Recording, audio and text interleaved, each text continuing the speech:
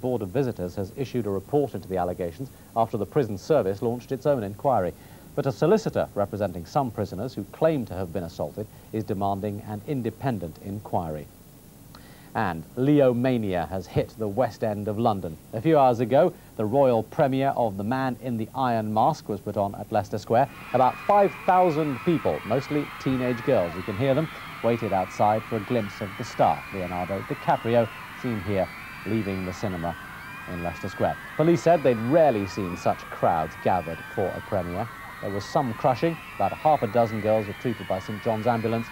No one was seriously hurt. Much of New Zealand's biggest city has been without power for a month now. And despite promises, there's no sign of it being reconnected. Businesses have gone bust, and as winter approaches, locals in Auckland are getting angry. The power-starved people of Auckland taking to the streets to demand electricity. It's been a dismal four weeks since the lights first went out, devastating the local economy and the lives of those who depend on it it's there all the time. I mean, you, you live, drink it, sleep it. You know, I mean, it's just, just an absolute bloody disaster. June Foster's gift shop in central Auckland has gone bankrupt due to the power crisis. Retailers and restaurant owners say trade has dropped by 90% since the crisis began. Candlelight has certainly lost its romance in this part of New Zealand. Shoppers are frightened to venture into the city. Many businesses have switched to operating out of suburban homes in an attempt to keep going. It's clear that it's not only money that people are needing, they're needing advice for their businesses, support as to how to manage uh, the pressures, strategies and experience to help support them. Auckland is New Zealand's largest city. It's the key commercial centre. At its worst, the power crisis blacked out the entire skyline. But an army of emergency generators has been shipped in, ensuring supplies for essential services. Many businesses are now moving back, and residents in high-rise apartments do now have their lifts working again. But many are still using the stairs, fearing more power cuts may trap them inside elevators. The city is now back operating on 40% power, but it could be another two months before full services are returned. The government has launched a special commission of inquiry into the crisis. The local power company is being blamed for scrimping on maintenance to increase profits. Engineers are working round the clock to restore normal power. There are four main cables supplying electricity to the city all failed at once.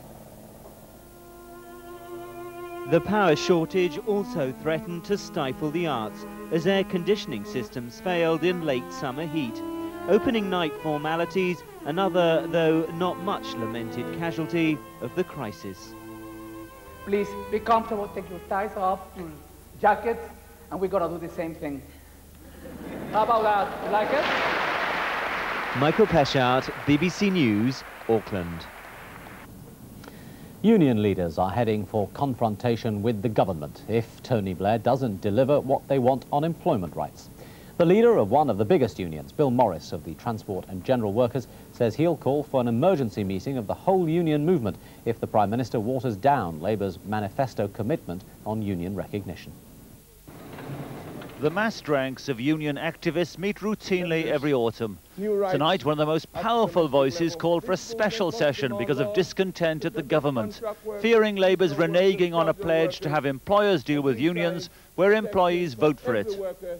Bill Morris said his union, the T&G, wants the recall of the Congress to determine whether the union movement can support the government's proposal. Others echoed the call. We're fed up to the death with the uh, procrastination that's taken place. There are delays in uh, saying the things that we want to hear. Promises were made that uh, there would be repeal of certain anti-trade union legislation. It doesn't appear to be forthcoming. Are you prepared to support the reconvening of the TUC? The answer is yes, we are. Under Labour, union leaders now visit Downing Street. After the last time, the Prime Minister's staff said the meeting was positive but some union leaders said he was leaning to the employers, hence the discontent. The leader of the TUC was tonight trying to keep the peace and union unity. Well, I'm confident that uh, Labour will deliver in accordance with the commitments that it's given. And I think the arguments are very much on our side for extra fairness at work and a new set of relationships uh, between employer and employee. So we're expectant. Uh, there's a degree of apprehension as uh, we await the decision, uh, but nonetheless, we're expectant that uh, we will get a fair white paper which will take workers forward in this country. 1976, with unions eyeball to eyeball with the Labour government over pay, was the last special session of the TUC. There's no doubt that a special meeting now would be seen as confrontational, producing hot public words, echoing hot, currently private words. Whatever now happens, the whole tone has changed. Some union leaders seem to be squaring up to the government. Threats are in the air. Any post-election signs of partnership seem to be vanishing. Stephen Evans, BBC News at the TUC. The United States has indicated it's about to ease its hardline policy towards its estranged communist neighbor, Cuba. A U.S. official has said that direct air links and the export of hard currency to the Caribbean island could soon be established. But the move seems targeted at helping the Cuban people without assisting Fidel Castro's government Key elements of U.S. policy, such as the economic embargo and the Helms-Burton law, which discourages foreign investment in Cuba, will remain in force. Britain is still running out of telephone numbers, which means that six areas will have to have their codes changed again. The reason for the change is that, is that there's an increase in demand for more phone connections and computer connections for people to use the internet. The areas to get a new area code of 02 plus another digit are Coventry, Portsmouth, Southampton, Cardiff and Northern Ireland. The change will take place on April the 22nd in the year 2000. Londoners will also see a change when 0171 and 0181 are combined into a single 020 area code for the whole capital, and there's no guarantee that other areas of the country won't have to change in the coming years. British scientists have identified a crucial component involved in the transmission of malaria, the disease which kills more than 2 million people every year affects almost half the globe, yet there's no effective method of preventing the disease. But, according to today's journal Nature, the, final, the finding rather, could help control outbreaks of malaria and produce a disease-free mosquito in the future. Malaria is transmitted to humans by a female mosquito infected by a parasite. Once bitten, the parasite's saliva makes its way into the liver and eventually infects and kills red blood cells. It also affects the brain, liver and kidneys and can be fatal. 90% of the deaths are in Africa and most of them are children under five. Residual insecticides have been so successful that they have led to a new idea. Total eradication of malaria. After the Second World War, scientists thought they'd won the battle against malaria by spraying insecticides. They were also looking for a molecule which may be the key to how the disease is transmitted. Fifty years later, a team of British scientists has found it, and one of them told News 24 about their achievement. And what we've managed to do is to identify the molecule that the parasite uses to say, I'm no longer in man, I'm in the mosquito, I must do something very quickly or I'll die. Anti-malarial tablets, while essential, are not 100% effective, and the parasite has become increasingly resistant to drugs. But this discovery could lead to the possibility of breeding a strain of mosquitoes that won't be able to carry the parasite and spread the disease. Sue Nelson, BBC News. There's growing speculation that one of the directors of Newcastle United Football Club, who's at the centre of fans' protests, is to resign. Fans have refused to accept an apology over derogatory remarks that the two directors are alleged to have made about Newcastle women and the club's supporters. The outward quiet which had descended on St James's Park tonight belied the ferment within. A shock defeat by Crystal Palace last night had brought disaffection with the directors boiling to a head. But it was the damage done by unguarded comments from the chairman and his deputy which was causing most concern to the board. A public apology had failed to pacify Tyneside opinion, and former chairman Sir John Hall and his beleaguered successor, Freddie Shepherd, here on the right, went into long session with their lawyers today. The pressure on Mr Shepherd and Vice Chairman Douglas Hall, thought to be abroad, was unremitting. They've dithered long enough. They should have come out earlier and either denied the allegations made on Sunday or uh, they should have come out and just said, hey, we apologise, we're very sorry, but after a few beers we said some stupid things. Speculation that at least one of the directors may go will not be relieved by the threat of more newspaper allegations on Sunday. We have more revelations of a similar nature. We have Hall uh, and Shepherd on tape and on video, in fact, uh, repeating uh, further slurs on the people of Newcastle, on their players and on the club in general. If the two do succumb to calls for their resignation, it'll mean a major overhaul of the company's financial structure. At the moment, Douglas Hall owns 57% of Newcastle shares.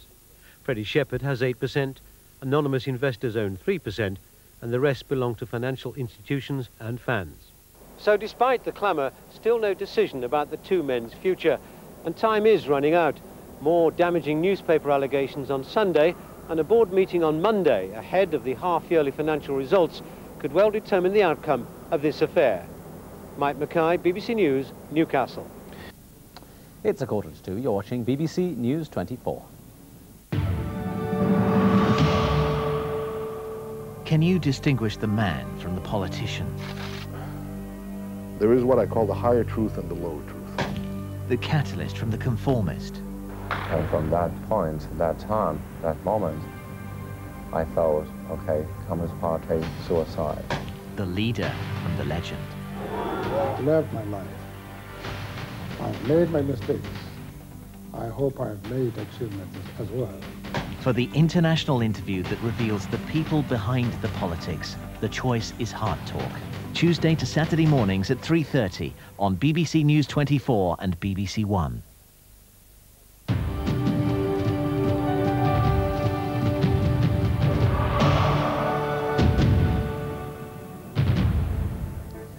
Welcome back. Let's have a look at the headlines this morning. Ferry operators are predicting travel chaos as French strikers shut down the port of Calais. The last boat will leave Dover at about 2.30 this morning. Tony Blair has been told he should have declared a free trip to the British Grand Prix made in 1996 in the register of members' interests. He was invited by the governing body of Formula One.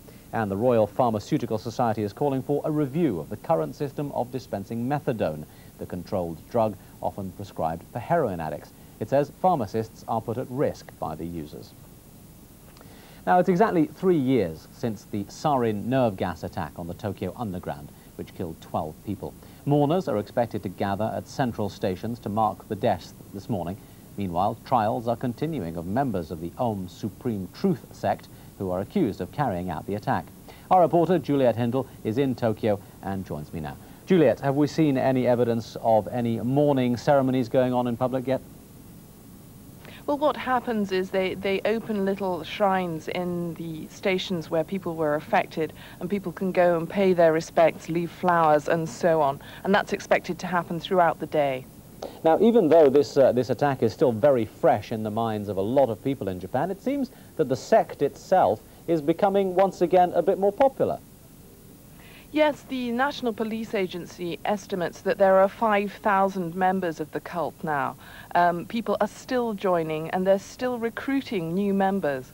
Um, they've got 28 facilities across the country and are believed to be um, gathering funds by selling computers in central Tokyo.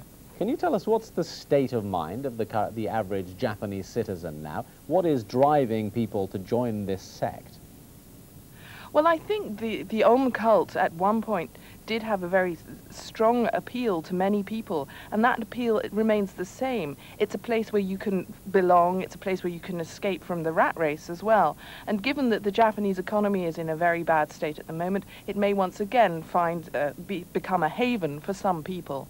Which, uh, well, okay, sure, some people are looking for havens, but surely now that the sect has been exposed as being quite so uh, extreme, I suppose, uh, most people would surely think twice, wouldn't they? Well, you would hope so. Um, the cult now says that it is completely benign, it has no uh, acts of violence in mind, it doesn't produce chemical weapons, and indeed, since the cult's leader is still in prison and on trial, it may be that they are practicing a more peaceful way of life. Well, given the fact that he is on trial, along with many of the cult members, who's running the thing now? Well, in theory, his children are leaders of the cult, and they're only about seven and ten. But in practice, it's still the people who, like Shoko Asahara who have a grip over the minds of the members of the cult. Okay, very quickly, Juliet, is the government doing anything to try and stop this?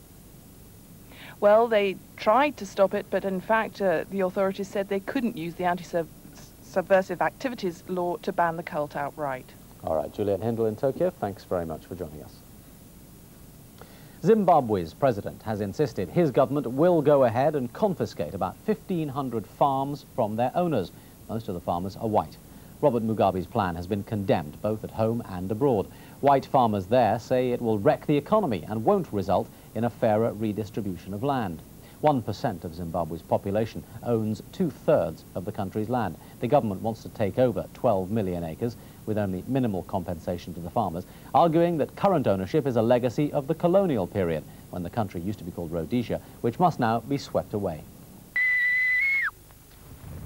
After four decades on the same cramped plot, John Nyari is getting tired of having to round up cattle whenever he wants to plough a field, tired of earning just £300 a year, tired of seeing white farmers with all the best land.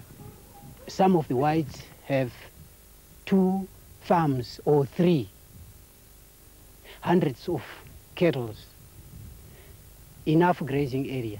But we black, we don't have that chance.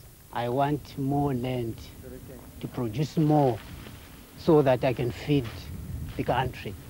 I'm not working for my own, I'm working for the country. This man used to work for the country in a very different role. Ian Smith led its last white regime in the days when Zimbabwe was called Rhodesia. He declared independence illegally and fought to maintain a situation where whites, who make up 1% of the population, have two-thirds of the best farmland. He is still fighting. Now it's to stop his own farm being confiscated. He says whites had a perfect right to come here and take the land they wanted. We came here, our ancestors, the pioneer column, with the blessing of the then Queen of England, because we were spreading the area that was coming under the Union Jack eh, and Western civilization. That was Rhodes's dream, and we were part of that. We came here in order to establish this kind of civilization and way of life. So if they come to take your farm, will you give it to them? Well, I've already told them they can't have it, because it's my farm. It's my home farm. It's been our home for 50 years. Some white farmers are now saying the government's plans are falling apart, that people like Mr. Smith needn't worry, because the original list of 1,500 farms has been secretly whittled down to around 200, and they'll be able to stay on the rest. The president denies it point blank. If they're going to stay where they are, well and good, uh, after the farms have been taken, but uh, rest assured, we're going to take the farms. So the policy's not been dropped? No, the policy hasn't been dropped. How could we drop a policy of that nature? So the full weight of international opinion counts for less than the hopes and dreams of Mr. Mugabe's core supporters. People here shed blood in order to fight for their land. And they want it. And any political leader must address that question, or else they go. So President Mugabe has a real fight on his hands now on what is quite literally vital ground for his people. He knows that if he loses, they may define his presidency as a failure. Jeremy Vine, BBC News, Zimbabwe. Workmen preparing the site of Manchester Airport's second runway have uncovered artefacts dating back more than 6,000 years.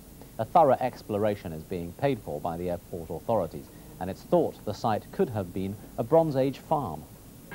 On a site where the jet aircraft of the 21st century will take off and land, evidence of human habitation 6,000 years ago.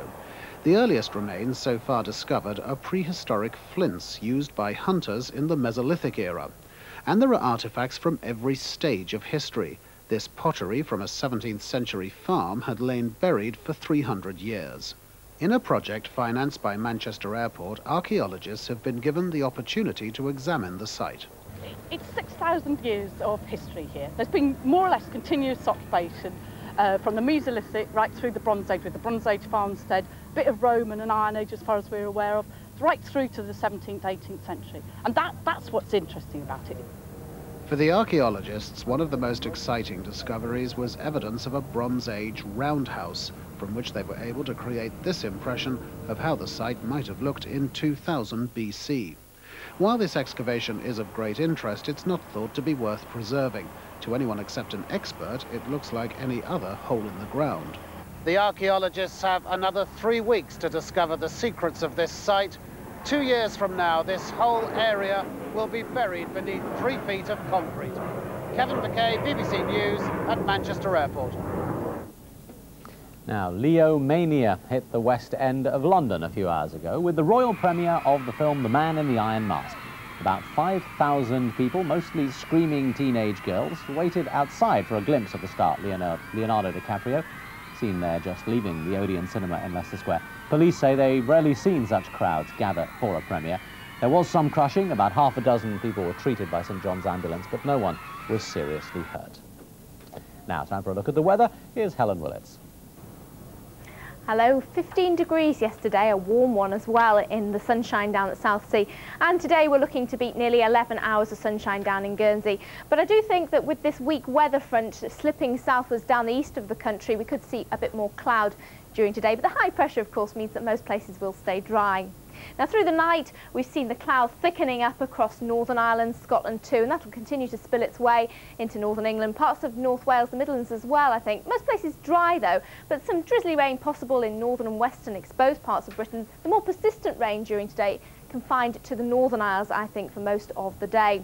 Further south the clear skies, the light winds, a recipe for frost and fog. We could have some pockets of fog, particularly near river valleys this morning, and I think it's going to be quite a chilly start as well with a widespread frost, ground frost that is, in many parts of southern England, Wales too, and some places down to freezing.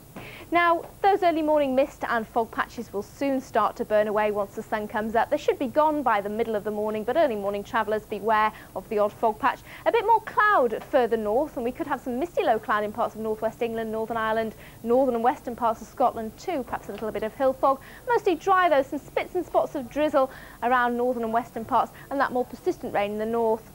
Once it brightens up, a good deal of sunshine in the south and the west. But as we go through the afternoon, I think we could see some more clouds spilling down the North Sea coast and just drifting into parts of eastern England. So perhaps more cloud there than yesterday. Perhaps you'll spot a drizzle by tea time in parts of East Anglia, Lincolnshire as well. But by then, the rain in the north becoming confined, I think, mostly to the Northern Isles, but always cloudy in the north and the western Scotland. Can't rule out the odd spot of drizzle. Generally speaking, bright in most places, so best of the sunshine in the southwest. Despite that chilly start, I think we'll see temperatures rising quite smartly again. 12, 13, mild for the time of year, and it will feel rather warm in the sunshine once again. A little bit more detail then, most of the cloudy weather and the drizzly rain in the north and the west of Scotland, brightening up in the southeast, I think a little bit of sunshine by this afternoon as well, and the more persistent rain by then in the northwest. Rather a grey start the western side of northern England, I think, this morning. Brighter, probably in the east, but then clouding over down the eastern side this afternoon perhaps brightening up though in the west and down the southeast a little bit of early morning mist and fog particularly around by rivers and lakes but brightening up this afternoon perhaps a bit more cloud in the east by the end of the day a spot of drizzle possible. One programme doesn't just reflect the news it makes it I don't think anything had prepared me for the bullying and the manipulation. When mothers were working, children were doing less well in school. Our environment is made up not just of our rural areas, but also of our towns. When the moment came, he brought the sword out. You've got a knife in your hand and you're going for the person that you love. Or even ten pence. I think she could have been saved. Why watch tonight's news when you can watch tomorrow's? Panorama, Monday at 10 o'clock on BBC One. There are people all over the UK. It could be Leeds. These men are behaving suspiciously. A check is made on their Volkswagen Scirocco. It's stolen. It could be Dover. Hello there. The occupants say they've already been stopped. Have a quick look in the back. It could be Glasgow. Most parents, it seems, don't want to leave anything to chance. UK Direct, the stories that are close to home. This morning at 4.30 on News 24 and BBC One.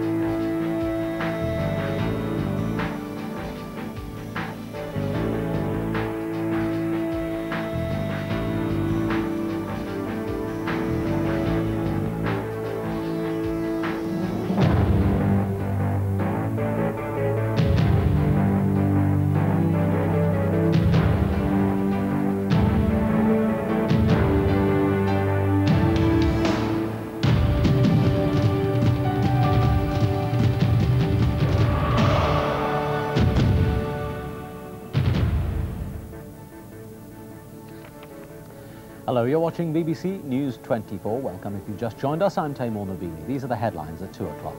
The last ferry leaves for Calais in under half an hour as French strikers prepare to shut down the port. Criticism for Tony Blair as he fails to declare a free trip to Silverstone. And Leo Mania in London. DiCaprio delights his fans. Ferry passengers and lorry drivers will face major disruption in just a short while from now when French dockers stage a 24-hour strike at Calais. The port will be closed to protest about plans to end duty-free sales around Europe. The French workers say thousands of jobs are under threat. 20,000 day trippers heading for Calais have been told they won't be able to set sail at all today. And car and lorry drivers leaving Dover will be rerouted through Zeebrugge in Belgium, which is a much longer four-hour crossing. The 24-hour blockade of Calais and Boulogne starts at 5.45 this morning, and British hauliers say it'll cause widespread disruption. It does mean that trucks have to divert. It means that they cannot guarantee reliable deliveries. It means they don't know when they're going to be arriving. And it means, of course, that they're subjected to additional costs. All of that adds up to a, a mighty pain in the neck, and an unnecessary pain in the neck, and it's caused by French strikers. The French government really ought to get a grip on this situation and stop it. French unions are angry about European Union plans to end lucrative duty-free sales in July next year. They say thousands of jobs will be lost in France and across Europe, and they fear trade to the ports of Calais and Boulogne could dry up. British ferry companies are sympathetic but say it's a misguided protest. I don't agree with it. I mean, if they want to, if they actually want to sort of uh, strike to show their feelings about the abolition of duty-free and fear about, about jobs, I more than I more than understand. I just wish they would disrupt possibly the traffic in the Champs-Élysées instead. Eurotunnel bosses have held a series of meetings after threats that the strikers would try to block Channel Tunnel trains. A spokesman said any such attempt would be regarded as illegal and the French authorities would be asked to act accordingly. Paul Royal, BBC News. A committee of MPs has ruled that Tony Blair should have declared a free trip to the British Grand Prix in the register of members' interests. He was the guest of the governing body of Formula One motor racing in 1996. The ruling by the Commons Standards and Privileges Committee has led Conservatives to accuse the Prime Minister of hypocrisy. Mr Blair, though, insists he went to meet business people, not to watch the racing. Tony Blair didn't declare a free family visit to the British Grand Prix in 1996, and he should have done, say both the Parliamentary Standards Commissioner and the Standards and Privileges Committee. Joining the Chancellor today at a school meeting to take questions on the budget, Mr Blair didn't respond to those who asked about the criticism. Prime Minister, are you going to answer questions about uh, the Register of Interests and your visit to the Grand Prix?